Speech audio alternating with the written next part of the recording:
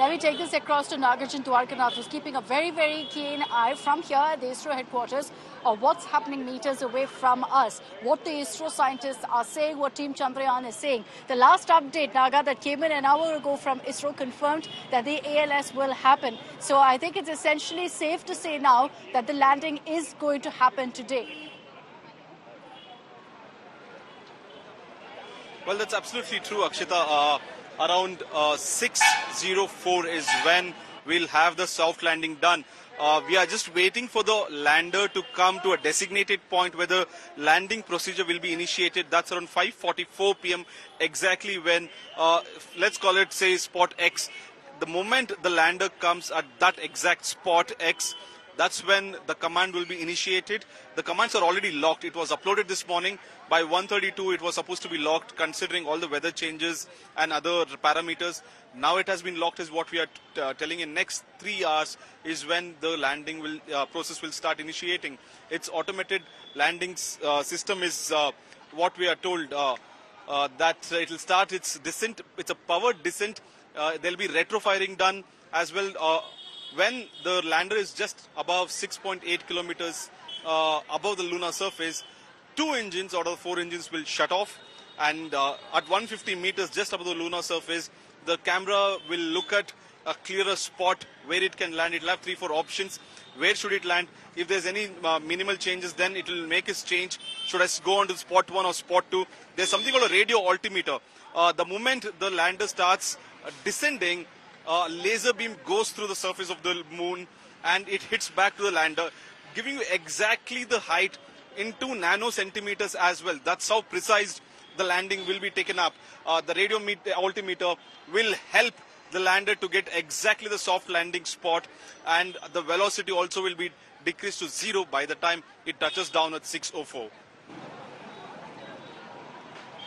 Okay, Nagarjun getting us all of those updates. Uh, let's bring in also our guest uh, on this broadcast. Mr. Anurag Pandey of Astrocamp India stays with us. We've also got Mr. Manish Purohit, former ISRO scientist and space educator. Uh, Manish Purohit, if I can come across to you first, I'm sure you're very excited and you're counting down much like the entire country and the world is for that soft landing of Vikram right now. Uh, can you explain to us, you know, when the ISRO says that commands have been sent across, what happens in these crucial hours to the run-up to the landing?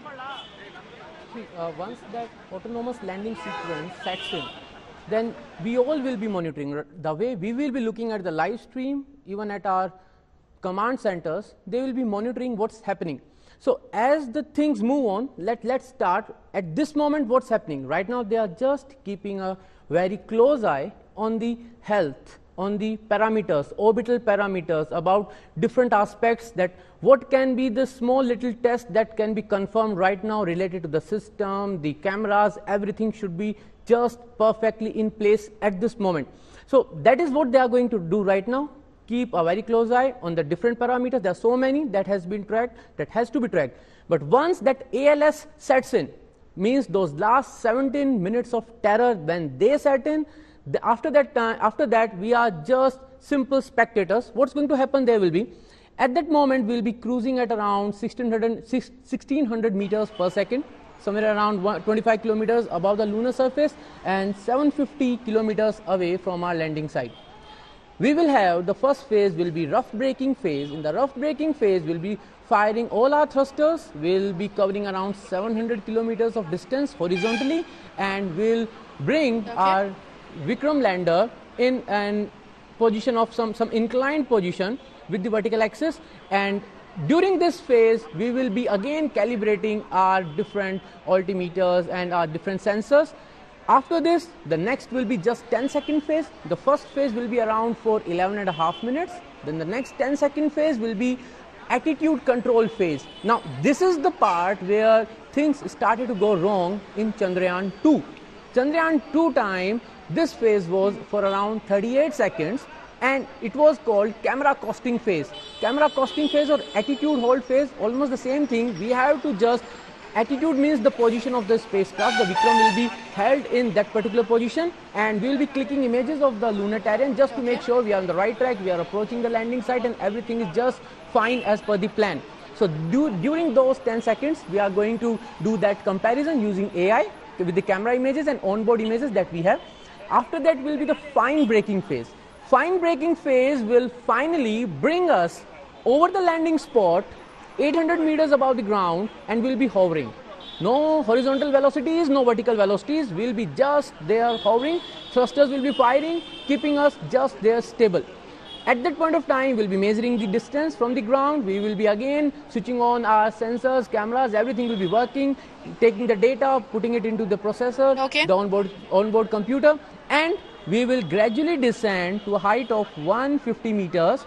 There, the lander hazard detection and avoidance camera will start its very important role of detecting if there is anything that can create a hazard for soft landing. If there is nothing, it will be a go ahead. If there is something, so there will be phases. A, yeah. Yeah. So there are four phases. So I think those four phases you've explained very very well. The uh, altitude control phase. That's the tricky one, and I think what we have learned from that is essentially that you know if anything could go wrong. It could happen in a fraction of a second, which is why there must be control at all times. ISRO scientists, as you're pointing out, will also essentially be watching what we're watching, but they'll, of course, be monitoring it with much greater detail. Before I take this across to our other panelists as well, uh, I'd like to also play out what my colleague Sneha Mordani told us about earlier about the 15 minutes of terror and exactly what happens. You heard what Mr. Manish Purohit has said. He's explained that to you in great detail. But let's, in fact, pull out for you exactly what happens in those 15 minutes of terror. From 5.45 approximately, it will start. The landing will begin. Uh, and the entire process will go on for four phases till 6.04 p.m. So that's essentially 15 to 19 minutes. You've got some experts who are telling us that, look, that moment of terror, those minutes of terror could even go up to 30 minutes of terror. And that's because these are very, very intricate, complex, complicated procedures. They could take time. It's all automated. So if there's a reason for Vikram, let's say, you know, uh, needs to move to another location, finds debris where he's about to land, they could then move to another location as well. So uh, we will get you that graphic in just a bit. The 15 minutes of terror, which my colleague Sneha was explaining for us earlier as well. We'll play that out for you in just a bit as well.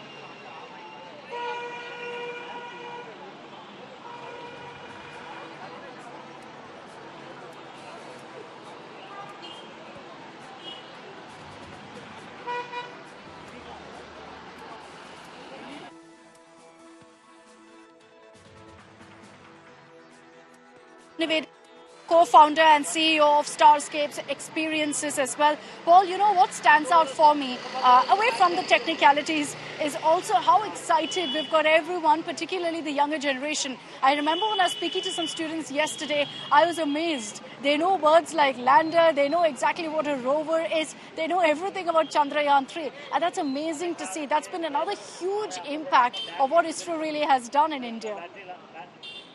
Yeah, Akshita, thanks for having me over. Uh, it is true. I think the uh, energy and the enthusiasm among children today because of something like this and everything, honestly, which ISRO does is pretty massive.